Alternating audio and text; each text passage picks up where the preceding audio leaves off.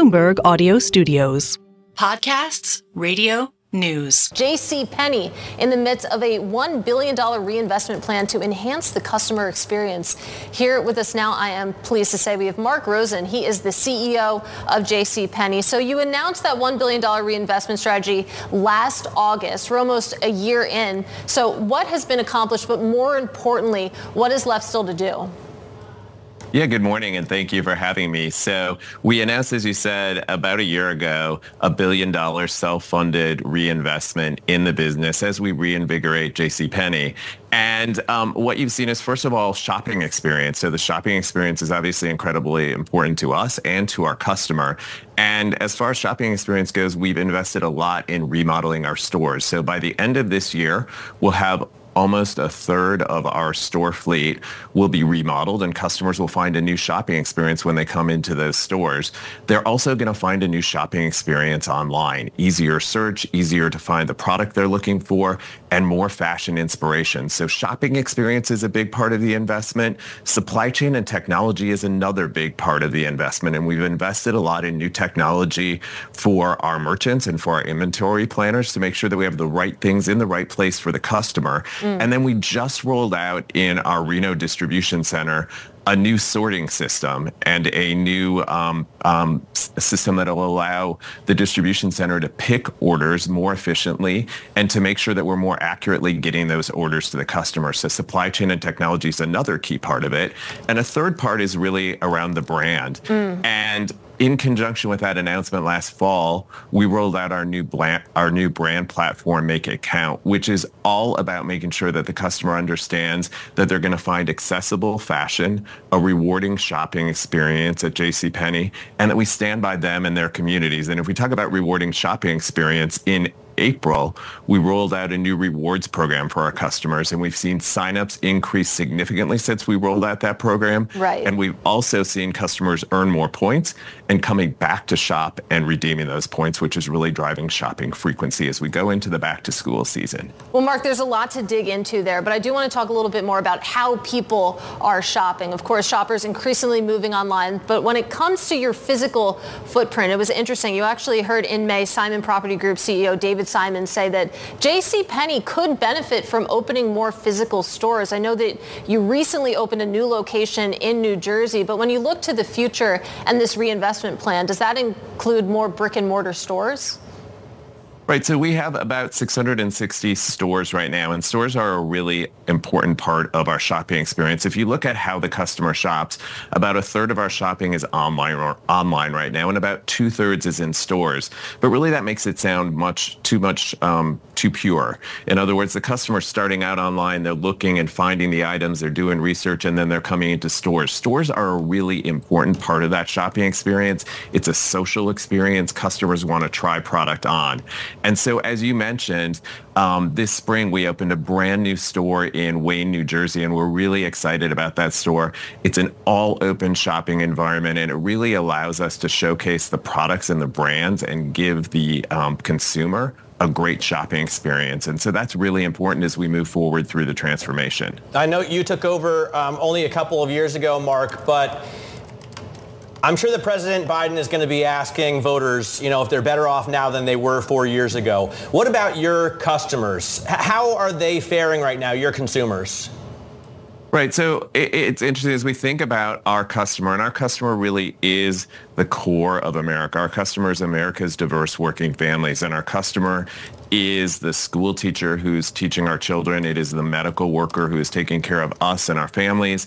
And it's the construction workers who are building the homes and the offices that we live in. And so for our customer, inflation has been very, very difficult.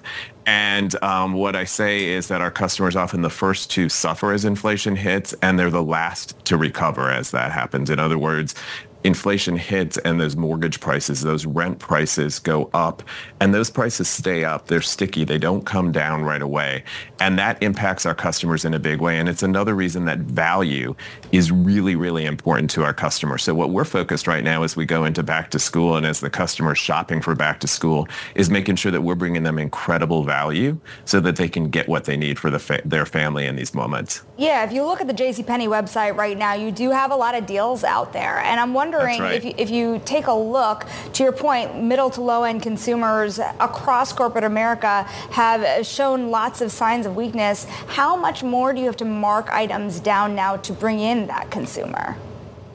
Well, I think what's really important to them is is showing them that they can find the fashion that they want. Fashion is really important to our consumer, but they can also find it at a great price. So you're right. If you look at our site right now, and if you go into our, uh, our stores, right now we're in Black Friday in July. Back to school is really important. That's top of mind for our customer right now. If they're shopping for a college student moving into the dorm, they're going to find bath towels for $2.99. And if they're shopping for their kids going back to school, they're going to find t-shirts for $4.99. So we have about 7,000 items under $20 for the whole family and over 1,500 items that are under $10, and that's in kids apparel. So that value is really, really important. I think one of the things that we have at JCPenney is the power of our private label brands. And we have great brands that we design and source and produce, and we can bring them to the customer at a great value and a great savings. You know, I'm also curious about your long game here, Marc. There was a time where JCPenney was under very severe distress, and really you're leading a turnaround story here. What does JCPenney look like three, five years from now? Financially. Right, we're really focused. I'm sorry, I missed the last part. Oh, financially. Uh, financially, okay. Um, so we're really focused on the customer and that customer experience and bringing the customer a great shopping experience. And we know at the end of the day, that's what's going to drive great financial results. If you look at the business right now, we have one of the cleanest balance sheets in the entire industry, and that's very important. So we have under um, half a billion dollars of debt on the balance sheet right now. So a very clean balance sheet, over $1.6 billion of liquidity, and the business is generating strong cash flow. And it's that cash flow when you go back to the investment and the over a billion dollar investment back in the business, that cash flow is what we're using to invest back into the business. Mm. When I look to the future, what I see is this is going to be a business that has a mix of stores, has a mix of online, and is generating a healthy cash flow because we're delivering what the customer needs, which right now is great product, accessible fashion at a great value, and a really rewarding shopping experience.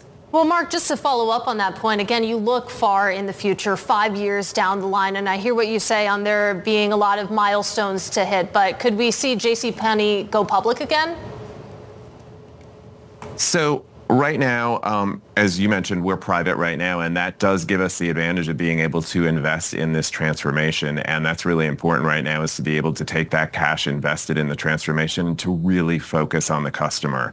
And right now we're we're in what I would say is the middle of that transformation. We've invested a lot in the shopping experience. I said about a third of our stores will be remodeled by the end of this year, but there's still a lot more to do in terms of stores and the online experience and the shopping experience. And we're in the process of reinvigorating our brand. So that's what's important to us now. We're continuing to drive that cash flow, continuing to reinvest in the experience for the customer, and we'll see what the future brings. I wonder about keeping your employees engaged. You know, I spend, for, for whatever reason, a lot of time in big box stores um, uh, uh, here in Westchester, and oftentimes employees are on break, don't really care, you know, messing around with products instead of customers. How do you keep them engaged and how much more have you had to pay them over the last, say, you know, three years? Right. So for our customers, I think I, I joined the company about two and a half years ago. And when I did, we really united around our purpose, which is to serve and celebrate with America's diverse working families. And the interesting, I think the really great thing for us is our employees are also America's diverse working families and they see what we're doing for their communities and what we're doing for them. And they are engaged in the purpose of the company, in the culture of the company, and in bringing back and driving those results that I talked about. So that's what's really important in terms of keeping um, our our associates engaged. We've actually over the last couple of years seen a big increase in our net promoter score, which is how we manage cus- how we measure customer satisfaction when customers are in our stores. And so we're really pleased with the way that our customers are staying close to the customer, engaged with the customer, and making sure they have a great experience in store. And part of the investment is also in technology like new point of sale technology and mobile point of sale to make sure that that customer does have a better experience every time they come into the store. Marc, you place clearly a lot of importance on inclusion and diversity. You celebrate diversity events. Is that harder in today's climate? We just saw Deere, you know, have to back down. Um, we were talking about tractor supply. You're in Dallas, Texas. Is it harder for you? What I would say is again, our customer is is America's diverse working families, and our customer is, is a broad set that really reflects America. That is the same of our employee base, and we are really focused on respect and and inclusion for all of um, our customer base and our employee base, and and it is important to everything that we do. Marc, we thank you so much for joining us today. Best of luck to you. That is the CEO of J.C. Penney in the middle of a big turnaround.